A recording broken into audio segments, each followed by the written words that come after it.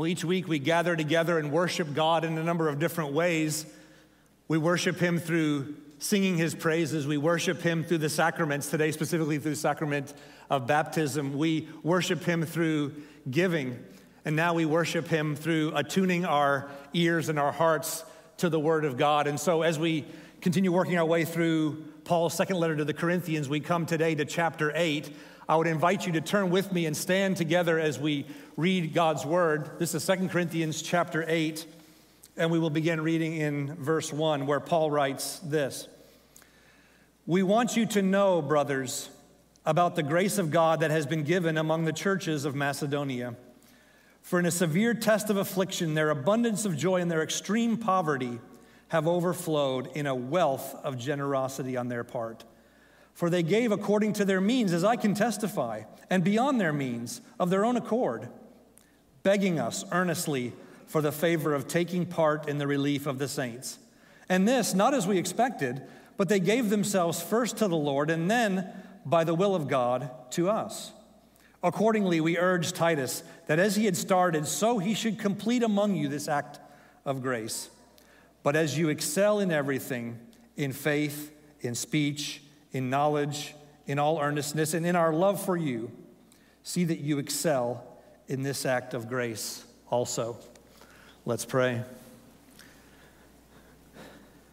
Heavenly Father, as we come now to worship you through our listening to your word and applying it to our lives, Lord, we pray that we would take these words as the very word of God and that that very word of God would pour forth through the mouth of Pastor Trent as he preaches this morning, that you would give him your words to preach, that we would excel in all those things and in faith and in generosity. Lord, not by our own resources, but because of the grace of Jesus Christ showered on us. And as always, as you do a work through your word, that you would draw us into greater conformity to the example of Jesus Christ. And it's in his name we pray. Amen. You may be seated. But perhaps you've heard it said before that when it comes to giving, some people will stop at nothing.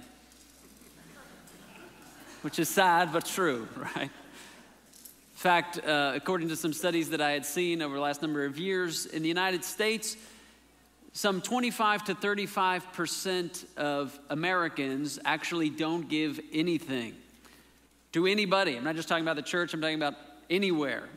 Nothing. 25 to 35%. That's kind of sad and disappointing. But before we get too down on the old red, white, and blue, you should know that Americans give twice as much as our Canadian neighbors to the north. So we got that going for us. And actually, three to 15 times as much as other wealthy, developed nations. So while we're not extraordinarily gener- generous compared to many other nations, there's actually a great deal of generosity that is happening in the U.S. When it comes to Christians, in 2017, Christians gave about 2.5% of their income to charitable causes, whether that's their church or some other organizations. 2.5%. Depending on what your measuring stick is, that may encourage you, it may depress you. Uh, but if you're feeling good about it, you should know that during the Great Depression, Christians were still giving 3.3% of their income away to others. Far cry from what we have been doing in pretty exceptionally prosperous economic times. When it comes to overall amount of giving, of course, those with the most are able to give the most. But when it comes to sacrificial giving and, and giving in terms of a percentage of what one actually possesses, we often find that, of course, it is the least who give the most. Omar is one of those guys. Uh, Omar's story was told to me by uh, Dr. David Nelms of the Timothy Initiative, another one of our mission partners that we're excited to support. Their work is specifically advancing church planting in some of the hardest to reach places in the world. But David met Omar in a refugee camp in Kenya.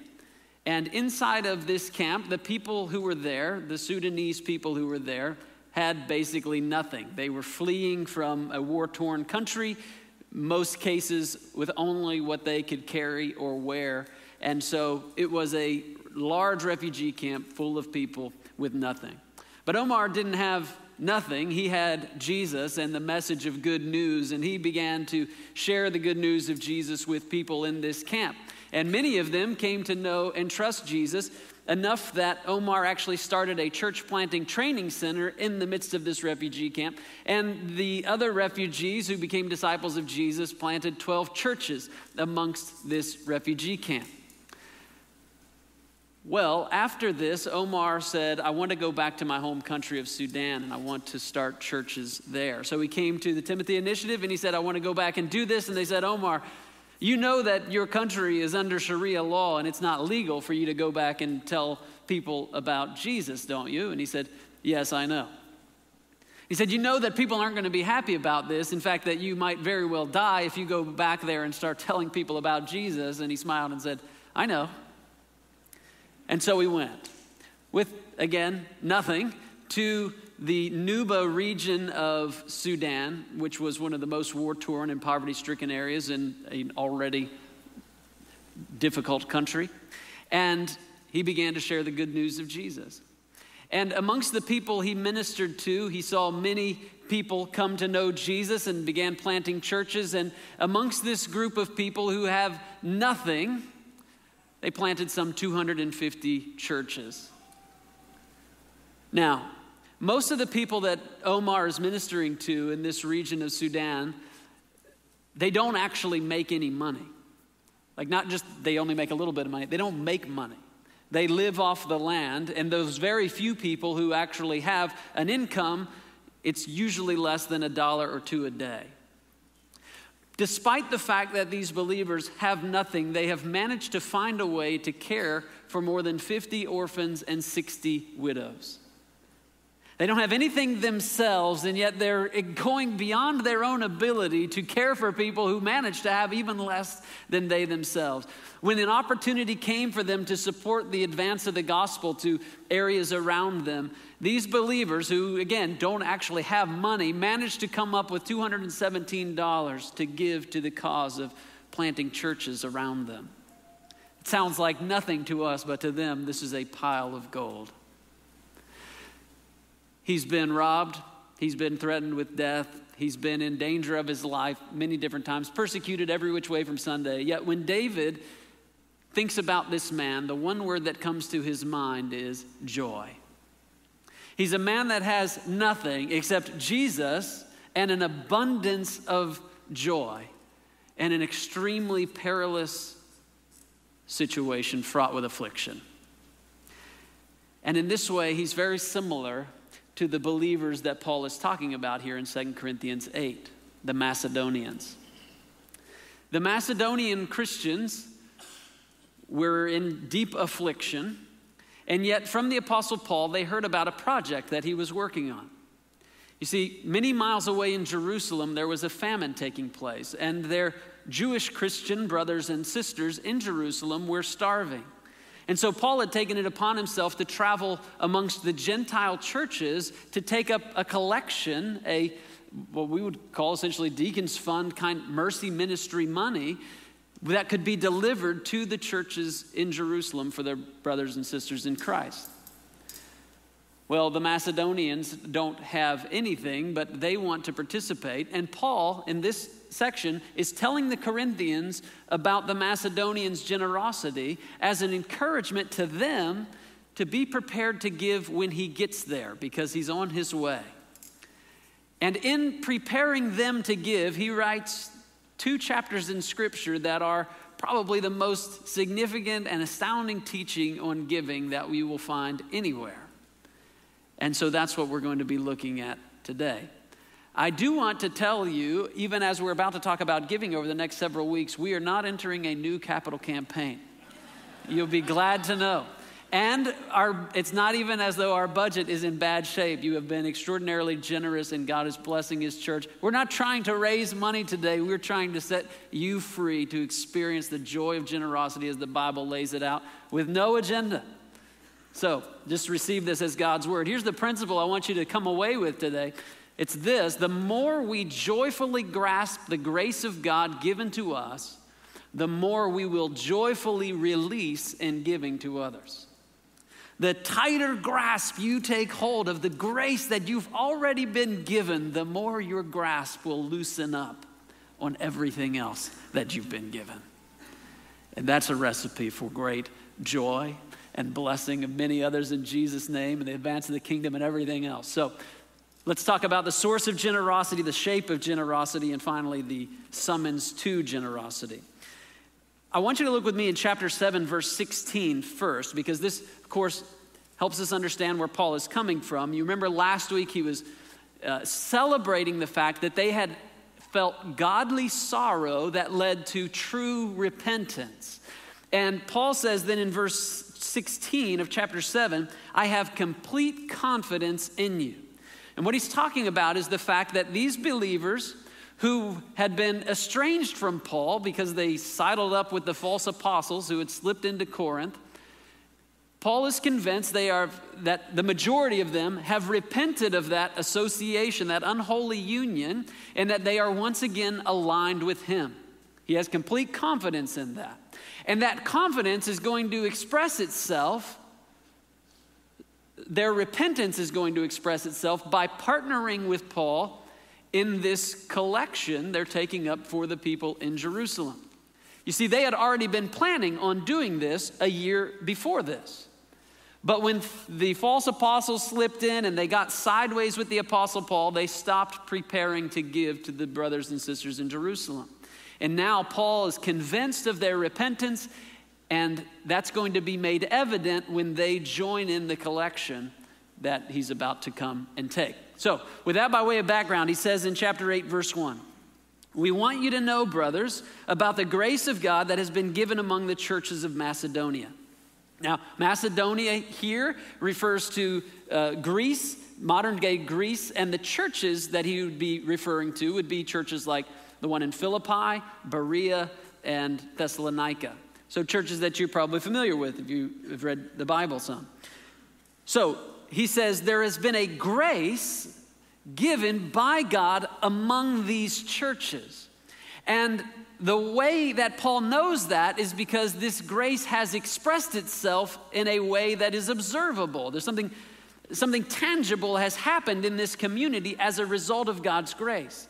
And he tells us in verse 2 For in a severe test of affliction, their abundance of joy and their extreme poverty have overflowed in a wealth of generosity on their part.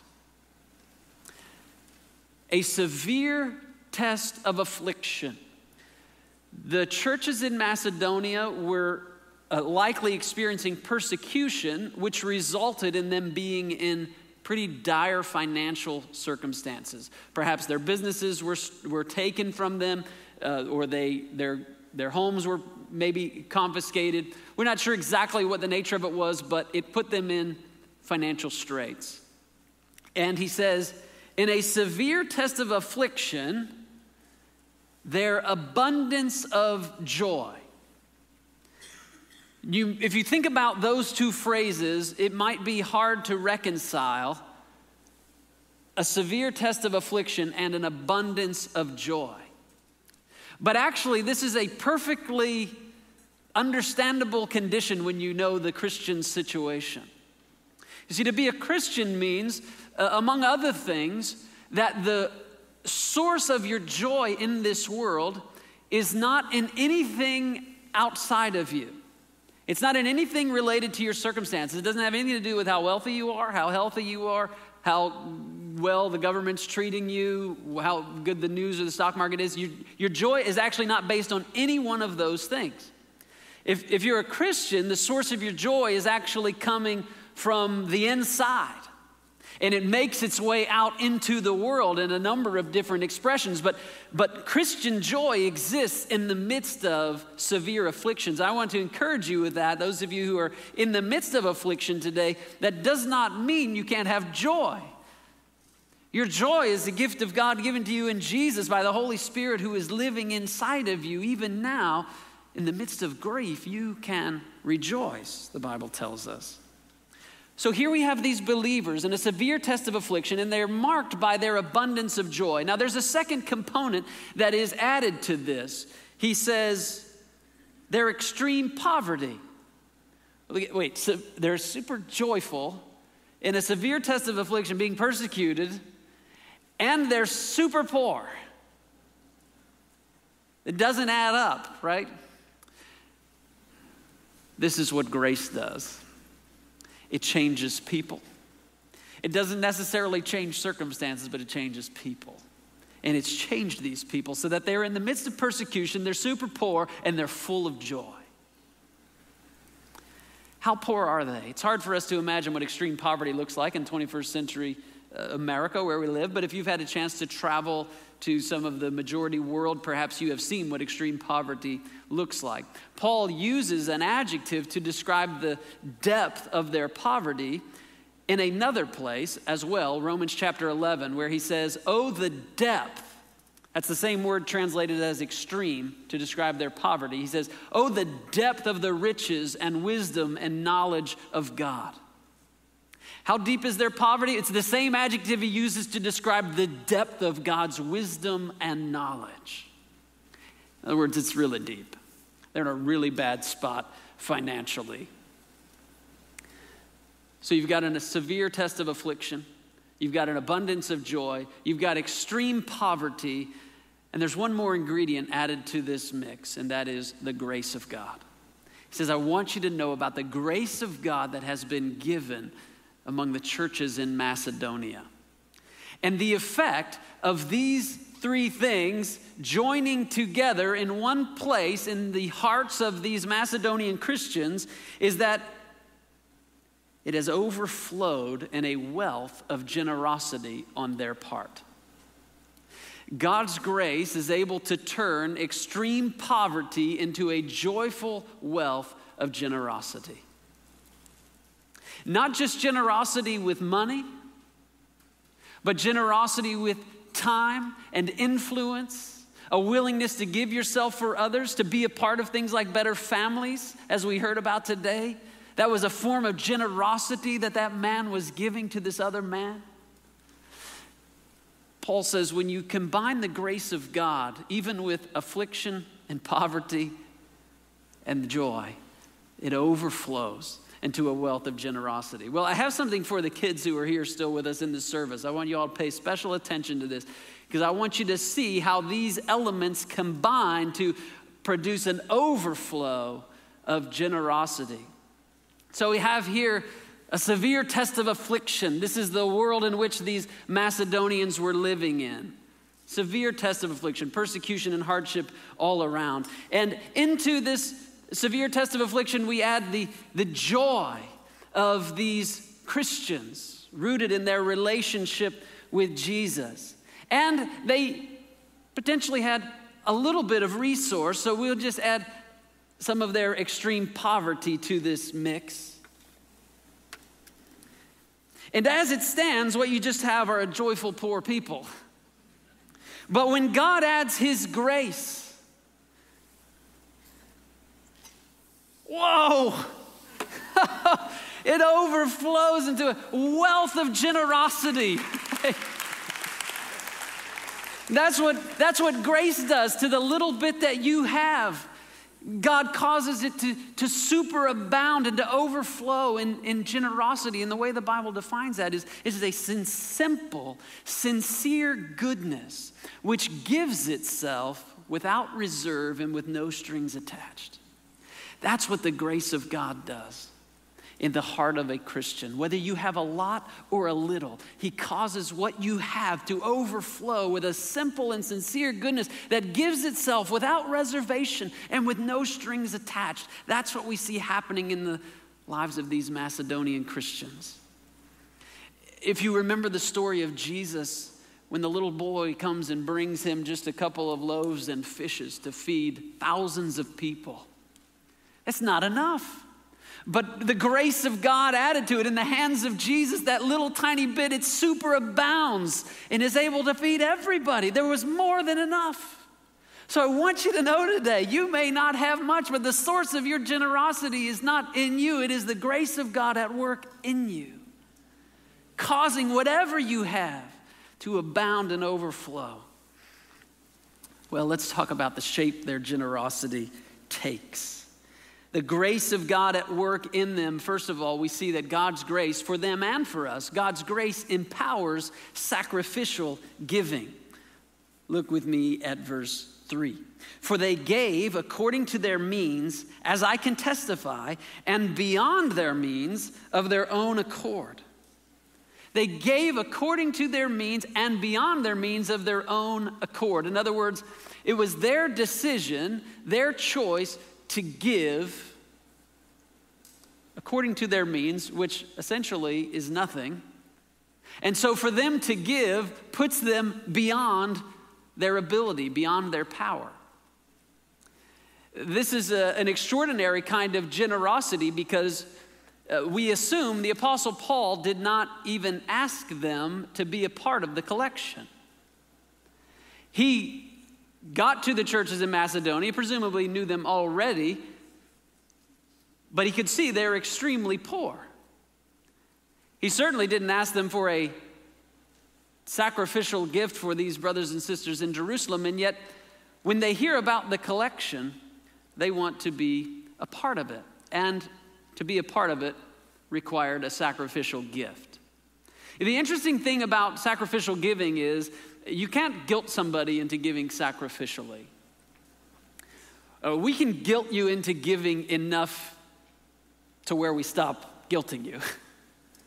right? You know there's a point at which time you can give enough that somebody will stop asking you. But if you're going to give sacrificially, that doesn't arise from guilt, that actually arises from grace. These believers weren't giving because they had to, they were giving because they wanted to in response to what God had done for them. And it led them to giving beyond their ability to do so.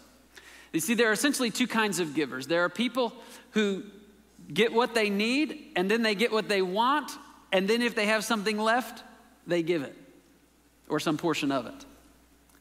On the other side are people who commit to be generous and to give, and then they figure out how they're going to live off of what's left. Andy Stanley says the problem with giving leftovers is that your generosity can never exceed your ability to meet your own needs. If you're only ever giving after you've taken care of all of the rest of your budget and desires, you'll never be able to give beyond your ability. And God actually invites us to give beyond our ability. Now, Paul will say later, it's not required that you give to the point that you're burdened. We'll see that next week. But that's what grace prompted in these people. They actually gave to the point where they themselves were actually burdened to benefit believers many miles away that they would never see, never meet, not even ever see a photograph of. Such was the power of the grace of God at work in their life, they actually wanted to give sacrificially. That's what grace does in our lives. It moves us beyond giving according to our ability to even starting to move beyond. I wonder have you ever experienced the joy of giving beyond your ability? The more you have, the harder it is. But have you ever experienced, see, what happens when you go beyond your ability is you experience weakness because you can't you now can't take care of yourself that's what weakness is and what happens when you give beyond your ability is that in the midst of that weakness the strength of god shows up in ways that you never would have imagined or anticipated but you never get to discover that if you only ever give from the leftovers there is a joy in giving at any level, but there is an adventure in giving that happens when you go beyond what you think you can do. And the adventure is you get to see God. You get to see Him show up in His strength in a way that you won't if you don't trust Him and step out. It's not a compulsion, you're not compelled to do that, it's an invitation. He invites you to step out beyond your ability and trust Him with your giving and watch how He provides for you. I've known lots of people who give. I did the focus of my doctoral research specifically on, on giving, things related to giving. And after talking to many people, I've never yet one time talked to a person who gave sacrificially and beyond their means and regretted it. That's not a coincidence. That is the power of God at work in the weakness of people who trust Him. Every single time. If you haven't taken a giving adventure, again, I'm not even asking, we don't have a giving adventure here right now. There are things you can give to for sure, and we encourage you to do that, but I want it for you. I want you to see God at work in your life in ways that you haven't seen yet. Second thing we see is that God's grace empowers eager giving. The Macedonians, as a result of the grace of God at work in them, we read in verse 4, were begging earnestly for the favor of taking part in the relief of the saints. The word for favor here is grace. They were begging for the grace, the gift to be able to give. Now, when we think about fundraising, it, we think about it in terms of Somebody like me stands in front of people like you, and I beg you to give to what we're doing. This is what it looks like when grace is at work, is that the people are begging to give. And people, mind you, who don't actually have anything, but what little they have, they are begging to give. See, God's grace is involved in every phase of this equation. It is God's grace to have something to give. It's God's grace to actually have a desire to give. It's God's grace to have an opportunity to give. Do you see opportunities to give as God's grace come to you? That's exactly how the Macedonians perceived this situation. They were begging, don't let us, don't keep us from being a part of this joy of giving to these brothers and sisters that we're never going to meet. We want to be a part of it. Uh, how much does this reflect your own heart when it comes to, to giving? Finally, God's grace empowers self giving. Verse 5 This not as we expected, but they gave themselves first to the Lord, and then, by the will of God, to us. So he's not talking about necessarily the, the sequence of how this happened, but he's talking about by order of priority. The, of, of, of, first importance, these brothers and sisters gave themselves wholly to the Lord. They were fully surrendered to them. They, in other words, they acknowledged what the scripture says, which is, You're not your own, you were bought with a price. They embraced that reality and gave themselves wholly to the Lord who bought them. And after having given themselves to the Lord who bought them, they were now fully fully at his disposal to do whatever he put before them to do with whatever they had to do it. Have you given yourself fully to the Lord? It was one of the Wesley brothers, I can't remember which one, but said that essentially the last part of a man to be converted is his wallet. You'll know that you've fully given yourself over to the Lord when you've given Him control of your wallet. You see, for the Corinthians, or the Macedonians, it was simple. They understood God had everything. He, he bought all of them, and that included the resources that He had entrusted to them. So, so everything was already His. Now it's just a matter of how, how's it to be dispersed. Some of you have set up foundations or you're familiar with foundations. And, and essentially, it means you've taken a, a, a chunk of money and you've, you've, you've already donated it to this foundation. It's already signed over, and now it's just a matter of deciding where it goes. Well, think of your life that way. It's all been given over to God. It's already His, and now it's just a matter of deciding where to allocate what He has entrusted to you, not only financially, but your time and your gifts and your, your influence. It's already all His. He graciously allows us to write some checks to ourselves. But our joy is to see how much of it we can direct toward His purposes. You see your stuff, your money, your life is His? What is it that makes this difficult for us? Why is this so hard? I think John Calvin puts his finger on it when he said, many years ago, because it's the same issue, he said, For what makes us more close handed than we ought to be is when we look too carefully and too far forward in contemplating the dangers that may occur. Anybody been there? You're just thinking, you know, well, we might need this down the road. We, you know, this could happen, and and we find ourselves starting to keep more and more back for ourselves. He says, when we are excessively cautious and careful, when we calculate too narrowly what we will require during our whole life, or in fine, how much we lose when the smallest portion is given away. In other words, this is not the financial advice your financial advisor would give you. But this is the advice that your Father in heaven, who loves you, gives you, which is get a little reckless. Maybe don't have a provision for every eventuality that could ever happen in your life. Maybe in a few areas, just decide that should this occur, I'm going to trust my Father in heaven. And, and what I'm giving, I'm not, I'm not just going to spend it on myself living recklessly that way, but I'm going to give it for His purposes. It's an adventure. And that is not compelling you, not even trying to get you. I'm inviting you to just see what He'll do if you'll trust Him that way. We hold back because we're afraid. We begin to live like people who don't have a Father in heaven who loves them and has promised to take care of them. We essentially live like orphans in the world who have to look out for themselves.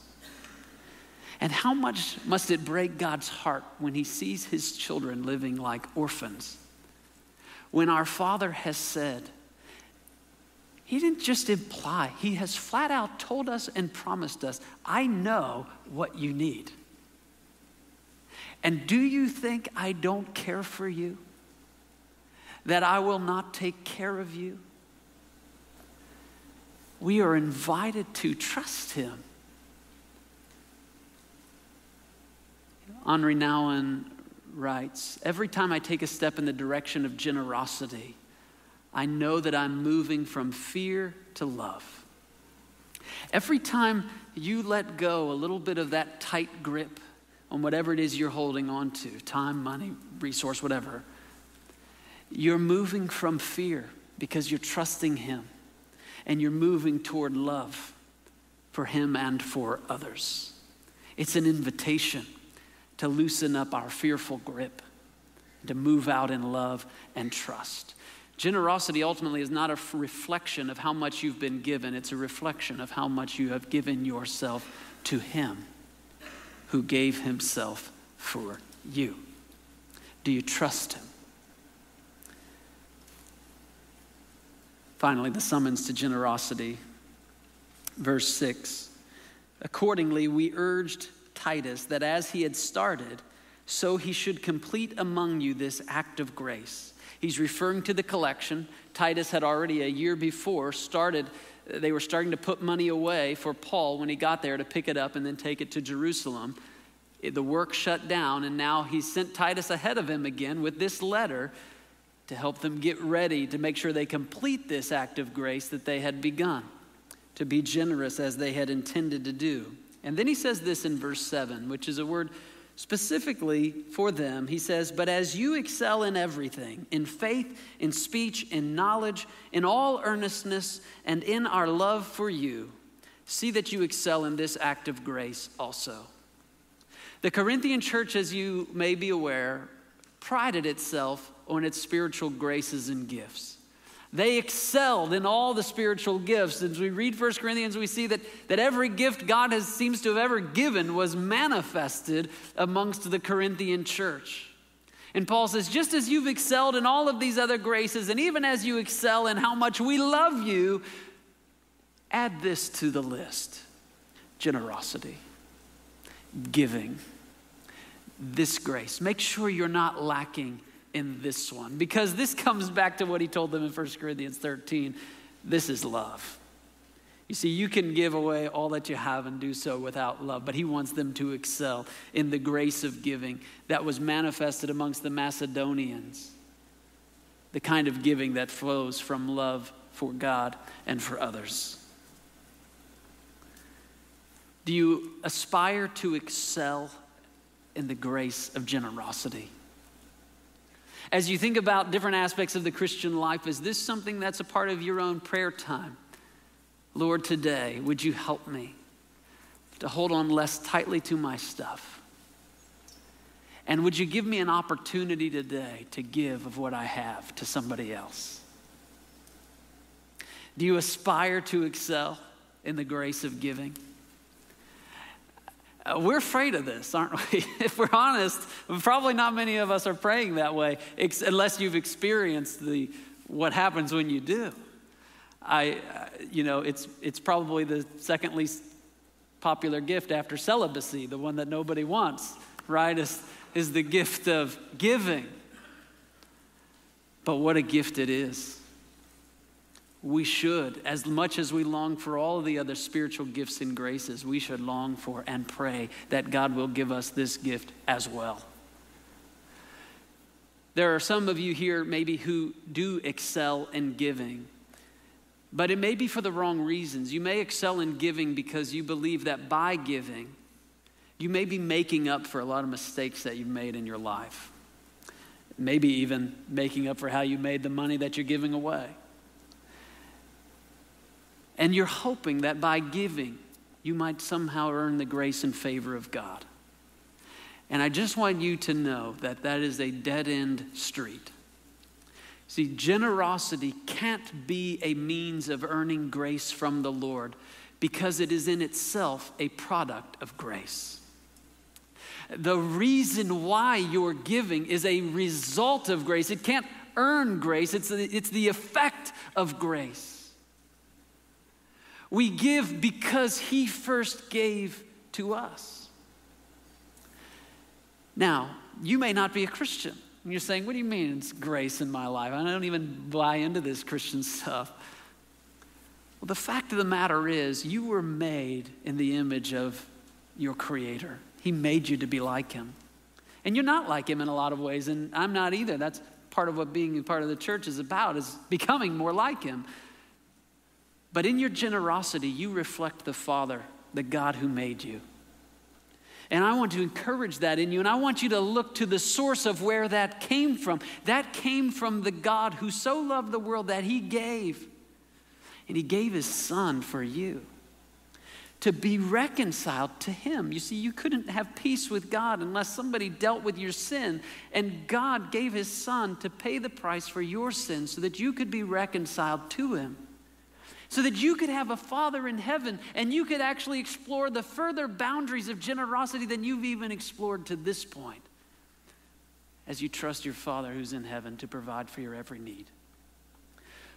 For those of you who are Christians today, let's remember the grace that God has already given us in giving us His Son. If He would give us Jesus when we were sinners and when we hated Him, if He's that kind of generous, can we not trust Him?